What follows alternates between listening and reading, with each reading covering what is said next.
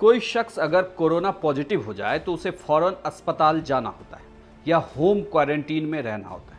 लेकिन अगर कोई कॉरपोरेटर कोरोना पॉजिटिव हो जाए तो वह इस आपदा को अवसर में कैसे बदलता है, वो भी देख लीजिए।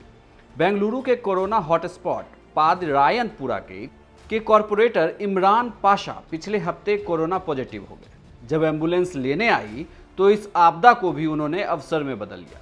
लोकप्रियता और नेतागिरी का ऐसा चस्का चढ़ा है कि सारी बातों को नज़रअंदाज करते हुए जनाब लोगों से मिलते रहे, हाथ हिला रहे हैं आशीर्वाद ले रहे। हैं इन्हें लोगों की कोई चिंता नहीं, इन्हें तो बस इस अवसर का इस्तेमाल अपने लिए जयघोष के नारे लगवाने के लिए इस्तेमाल करना था। आप पूरा वीडियो देखिए, फिर आगे आपको बताते हैं।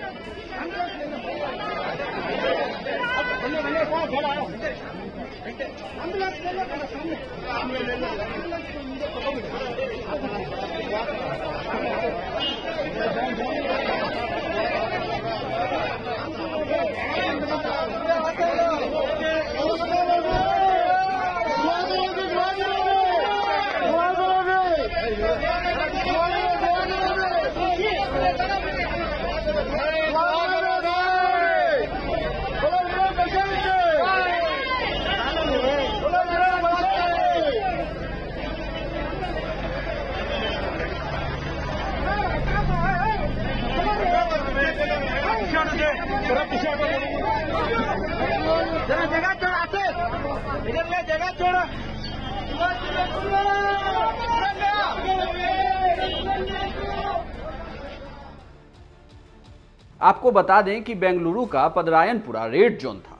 वहाँ पर स्थिति ऐसी थी कि 20 अप्रैल को कर्नाटक के होम मिनिस्टर वासवराज बोम्माई ने इस क्षेत्र का दौरा किया था और वहाँ पर कई केस भी थे, लेकिन हालात देख लीजिए आप कि कैसे उस क्षेत्र का कॉरपोरेटर खुद ऐसी हरकत करे तो फिर लोगों की जान बचेगी क्या? आपको बता दें कि कॉरपोरेटर इमरान पाशा के अब अस्पताल से बाहर निकलने का इंतज़ार है। उन पर अलग अलग धाराओं में मामले दर्ज कर लिए गए हैं।